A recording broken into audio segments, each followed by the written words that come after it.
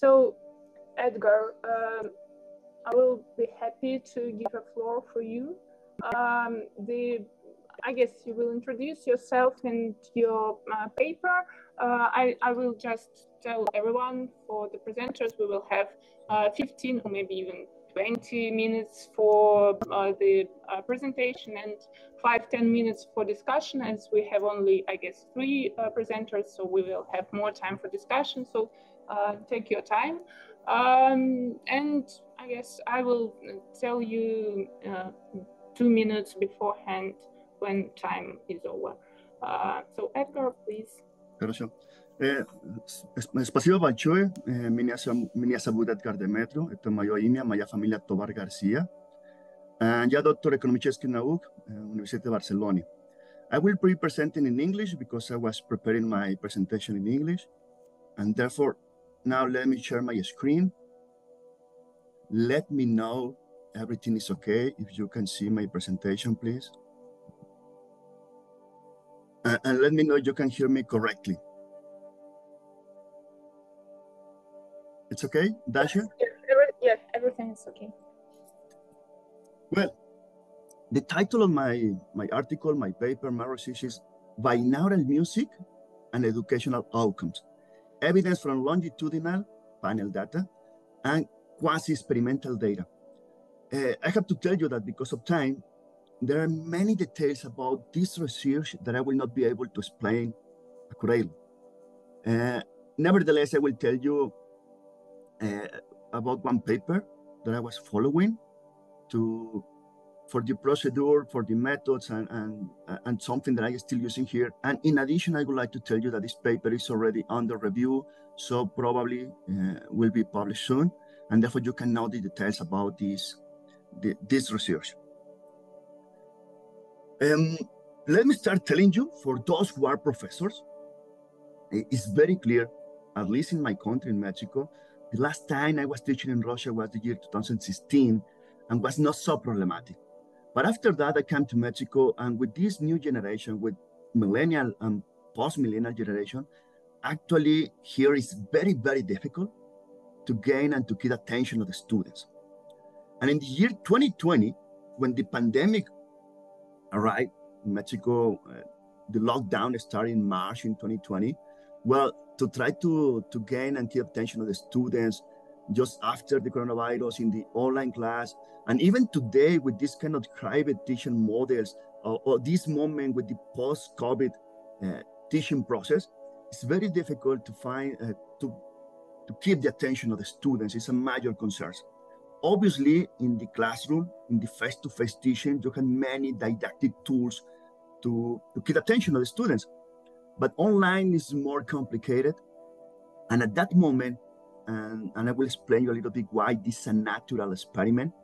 And at that moment, I was thinking, what can I do to don't lose my students, right? And I was looking for music because it's very well known the Mozart effect. So I was playing music in 2020 at the very beginning of the 2020 and in the second part of the 20 or, or a little bit, I was using classical music as a background music to keep and maintain the attention of my students. Nevertheless, actually, very soon, I was I found the binaural binaural music in social networks, and I started using this this music as background music in my in my classroom, my online classroom, in 2020, and I found that the performance, the academic achievements on my students was really better. Yeah, when I was using the music, I just was noted, it's my opinion at that moment, that my students was doing better job with the music than without without the music. From this paper, when I, I was using the the music, I was I paid particular attention to this article by these three authors, and they showed evidence with experiment. In my case, it's a natural experiment, quasi experiment, but I was following this paper. They used an experiment and they found that when they are using classic music for lectures, actually students learn better. And this is the reason that at the beginning I was using classical music. Then later, in my opinion, binaural music was better in 2020.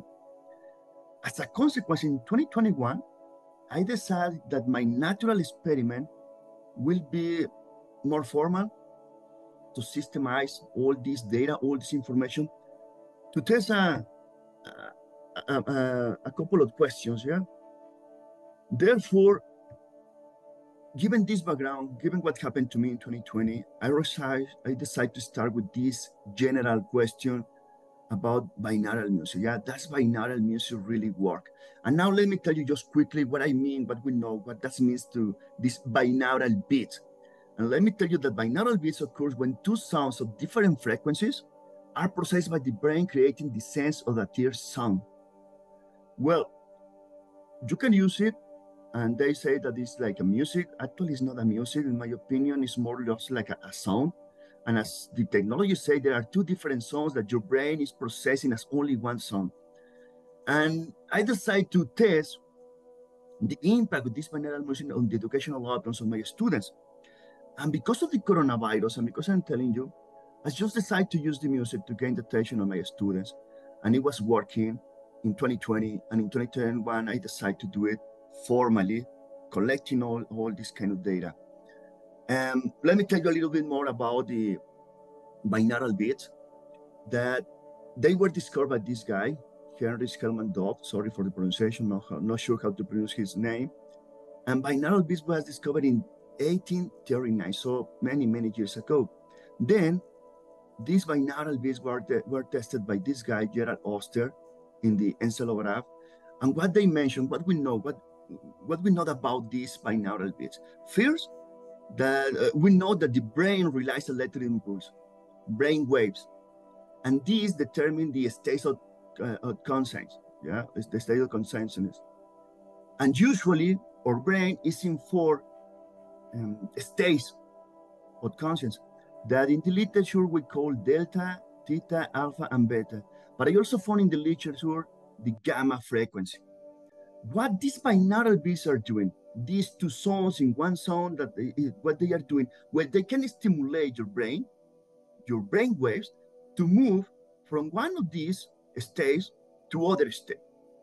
And what people is doing now in social networks, what they uh, try to do is using this binaural beat to move from the beta state to the alpha state. And they are doing like this because we know that the beta state is the, the, the, most popular in modern society, but this beta state is correlated with tension, anxiety, and stress. By contrast, alpha, the alpha state, is, is correlated with a receptive mind, uh, will help you to uh, with, with focus, with attention, to try to learn. And therefore, what they are doing is using these binaural beats in music to help people to move from this beta state to this alpha state that will help you to get focus. Well, this idea in education, there is not evidence to this moment, not for the best of my knowledge, to, uh, there is not empirical and, uh, scientific evidence of this is happening. Nevertheless, there is a lot of evidence in other fields. In medicine, for instance, people using this to control for hyper, hyper hypertension, for surgeries, for in medicine, they, are, they have been using this music in, in several fields, and there is evidence that it's working, that actually is helping people to relax and to get focused. But in education and in other uh, areas of social science, I didn't, I did not find any evidence for that. Therefore, I think that this was a good idea to formalize my natural experiments and to test the impact of these binaural beats in educational performance. Accordingly, in 2021, still under the conditions of the pandemic, 73 students were participating in my natural experiment. They provide me 700, uh, 707 observations in 16 points in time. Therefore, I had panel data. And here also I have to tell you very quickly what I'm doing. The idea is very simple. There are many details that obviously later I can explain. So I was in 2021. I had only three groups. Two groups are about microeconomics. I have the group A and group B, and the other group is about international economies. What I was doing? Well, using the, mus- the music as a, the treatment, as the experiment, in one partial of the, uh, of the semester, and I didn't use the music in the second part of the partial. Uh, let me explain you a little bit more because it will be, we'll be better for you. Here we're teaching in, in one semester, and the semester is divided in three partials. Therefore, in partial one, I was using the music in my lecture in the group of microeconomics A and international economics. And in partial two, I was not using the music. And by contrast, I was using the music from microeconomics B. In other words, when I was lecturing in partial one, I was using music, and in partial two, I was not using music just to test if actually there is an impact of binaural music on quizzes. After each lecture, students have to answer a quiz, and I would like to know they are improving the, their, their quiz scores after, uh, after the music. Now, uh, and please, um, I, I, will ask you not to Google the, the video now. I will put the, the link to the video in the chat, but please don't go now to the to the link to the video where you will find the uh, the music that I was using. There are many, many options. Yeah, you go to YouTube, Spotify, and so on, and you will find many options of people who is producing this um, this music, this binaural beats as music, and therefore uh, given my discussion with my colleagues, I think that this video that I'm telling you, here will be easier for you to remember this phase. Yeah, this is the, the video that I'm using with the music that I'm using as background music when I was uh, lecturing to my students. Don't, don't Google for this now, later you will have time. And what I was doing first with my data, just analyzing descriptive statistics. And given this descriptive statistics, I would like you pay particular attention to microeconomics A, and then later I will explain what is happening here. Just comparing mean, mean comparison, when I was using the music with this uh, group, micro A, you will see that by contrast, it seems that when I'm using the treatment, I mean, when I'm using the music, the average score of quizzes is less than without the music, against my hypothesis. But in microeconomics B, it's, very, it's clear that when I'm using the treatment, when I'm using the music, they're actually improving the quizzes scores. Then don't forget I had micro A, micro B, and I was comparing between groups. And when the uh, microeconomics B is the control group, I mean this without music, there is evidence again suggesting that the treatment is useful to improve the results in quizzes. But when the group A again is the control and B is listening the music, it's not clear, yeah? The p-value is slightly high. And therefore, in the case of macroeconomics, in particular in the case of macroeconomics A, the results are mixed. To this moment, just analyzing descriptive statistics. In the case of international economies, this group number three, by contrast, it's very, very clear that with the music, with the treatment, they were improving the quizzes scores a lot. Yes, statistically significant. Well, when I explained to students what, what I was doing with the music, they gave me the, the writing consent to use this data. And also they answered a background questionnaire. And with this background questionnaire, I was able to use control variables. There are variables measuring concerns about internet connection, uh, language concerns, um, about the coronavirus concerns, and so on. Well, I was able to use regression analysis, using panel data, random effects to to include um, time invariant variables, and also because it's recommended by the Hausman test. And I was just using regression analysis to test the impact of the treatment, the music, on the quizzes scores, given my, my control variables. Therefore, I had five models, two for micro A, micro B, and then to compare between these two groups about microeconomics, and finally about international economies. The results are here. And again, I found that in the case of this class, microeconomics A, it seems that the music has a negative impact. As I mentioned, I will tell you what is happening here later. Yeah. But by contrast, microeconomic B is very clear there is a positive impact. When comparing between groups, it seems that the treatment, the music has also a positive impact. And in the case of international economies, is very, very clear. that there's a positive impact. What these numbers means, on average, when they are listening to music, they can improve the quiz scores in A to 20 base points, given all these kind of control variables and many of the things I, I, I have been doing for this. Well, what I found in the background questionnaire, I also had a open question uh, asking students to comment about the music. Yeah. And the majority of the students, most of them were commenting that the music was good. Yeah. Realizing, it realized me, like it, like it, good idea, comfortable, calm, yeah, they really enjoyed the music. And sometimes they even noted, yeah, they mentioned, you know what, the music was there and I forgot about it and I just pay attention.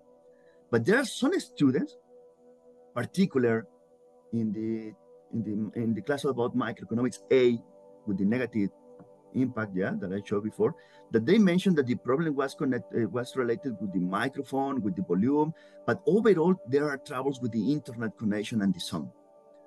And I'm thinking, and this is my assumption here, and talking with students, that this most probably is because of these internet connection concerns that in the class of microeconomics A they I, I did not find this positive evidence. I found more mixed results uh, but was not a result of the music, but was a result of the problems with the connection and the problems with the with the internet. Therefore, as an overall conclusion, I can tell you that using binaural music uh, helped me to increase quizzes scores by 8 to 20 base points. And I also can tell you and advise the use of this music as a didactic tool in the classroom, virtual or not, and also for students just to study, to get ready for an exam at home. I still using the music in, in my classroom and I can see in particular that when I have to lecture, when I have to explain theory, that is highly useful to keep and maintain the attention of my students. And I will tell you that this is particularly relevant, at least in my country, and seems to me that many other countries for this post-millennial generation, because we know very well that this generation, because of devices as smartphones and so on, they cannot pay attention to your lecture more than 20 minutes. Yeah. And this music will be useful to, to keep and maintain attention of the students according with my resources. Uh, thank you. Gracias. Espacio Balchoe. Gracias. Uh, so, dear colleagues, uh, if you have questions, please, you can raise hand or speak loud. No, I have one question, at least one, uh, that I would like to uh, ask. Um, maybe it's more like a comment. Uh, uh, in the design of your study, um, the uh, outcomes of your study is very sensitive to the approaches how to measure these educational outcomes, like right. uh, the, uh, microeconomics, microeconomics, uh, macroeconomics, and international economics. Uh, I have several questions in these terms. Like, firstly, uh, you you you have paid attention about quizzes, but can you just comment how what was uh, the quizzes? Who was the designer of these tests? Is it your like uh, your methodology, and how do you um, is it some stable approach to to to measure uh, learning outcomes? Uh, and how do you think uh, that uh, they are comparable uh, in terms of the different subjects that you uh, try mm-hmm. to evaluate? Um, because maybe the tests are very different and in terms of time etc so can you comment please? Yes yes i got it. As i mentioned i will not have time to mention all these details. Well, let me tell you, because I had troubles here. Yes, obviously, uh, this is my, I have been teaching this class for several years, and therefore I already had my, my questions, right? And therefore, with my colleagues, I was deciding what question to use and follow with the, the rules about the, this kind of questions, in the sense that the grammar is correct, that the question is clear, positive sense, all these recommendations, something that I was following for the selection of the question. Now, students have different background, and uh, probably was a problem for me because I was using different quality of questions depending on the group. The guys in microeconomics are just starting the career. They had a very basic knowledge about my uh, economics. And the guys in international economics, they are almost at the end of the career. They had a better knowledge of the economics.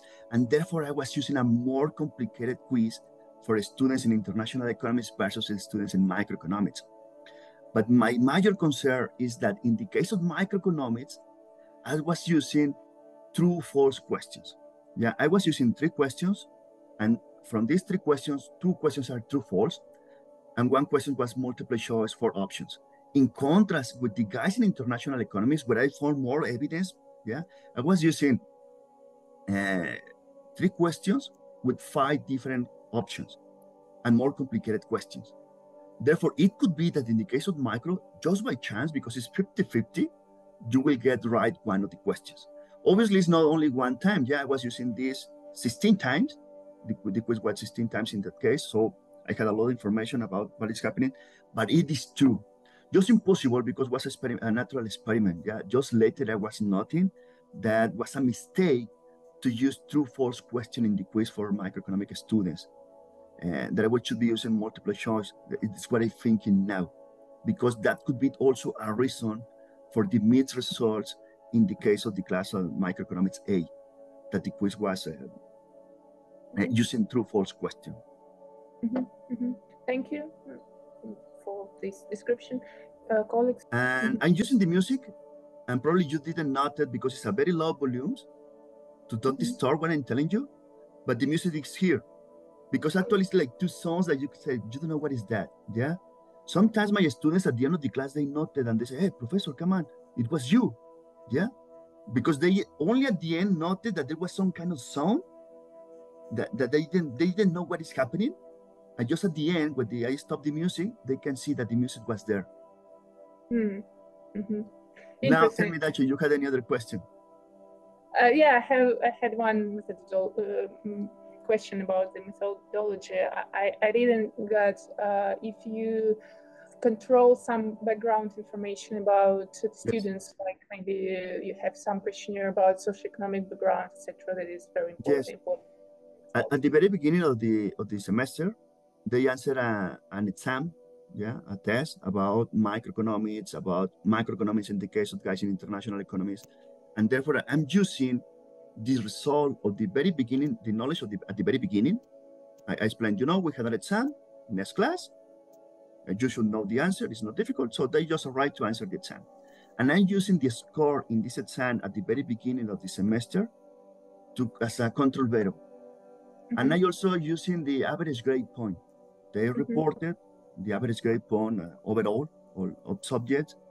And I also using something like that as a control variable. Mm-hmm. Mm-hmm. And okay. nevertheless, it seems that the music is helping. Mm-hmm. Okay.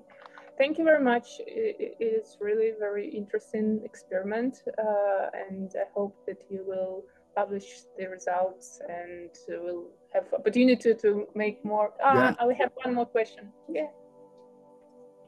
Hello, uh, my name is Kate. I'm calling from Daria, and I'm just curious. Um, uh, did uh, the treatment group uh, shared their experience with uh, the control one? Because I think that's the thing to share with uh, your classmates. And what did, how did you deal with this? Okay, as in your case, I never mentioned that I was using the music. I'm asking you, I'm telling you just right now. Yeah. But with my students, I did not mention. Obviously, they noted. But I am not the only one that sometimes is using music. There is another professor using music, but they're using more popular music just at the very beginning, study music, and then you start your class. Yeah, because actually music is most popular than what we think. Therefore, students didn't know. I never mentioned something about the music. Just at the end of the second partial, when I was asking to to give me the writing consent to use the the results of the quizzes and so on. Then I explained what I was doing. And obviously everybody noted, yeah, everybody said, yes, professor, I noted was the music. But for them at that moment was not uh, something very clear as in your case. I mean, I'm, I'm, telling you, I'm using the music, you didn't note it, depends, yeah? But they, in addition, was difficult that probably they are talking about that because they were at home, they were not in the same place. It could be that somebody mentioned to other students, you know, since to me the professor is in music. It could be but when I was asking them, this is not in the background questionnaire, uh, it seems that was uh, more or less irrelevant that they didn't pay attention because actually what is happening with this music, and that's my advice for you. There is a link in the chat. Yeah, uh, you can Google. When you are using this music, after a few minutes, you will forget about the music. The music is there, but actually you will not uh, not the music anymore. And that is what happened with the students. The music is there. They cannot, the music in particular at the very beginning because of this, because of silence. And then later you forget about the music because you already got focused on what you are doing. That is intention of the music. And therefore, yes, it's possible that the students were talking about that. But in my opinion, nobody was thinking that I was using the music with the purpose to improve the, the, the, the quiz score, things like that. That is what I'm thinking after I was talking with them about the music and what was doing. Mm-hmm. It, it, it, could be that is true. It's a natural experiment. Mm-hmm. Okay, thank you very much. Uh, it is really very interesting. Uh, thank you. So, yeah, um, and we hope that you will have some opportunity to have more experiments uh, like this and uh, opportunity to, to write papers. Thank you. So Thank you.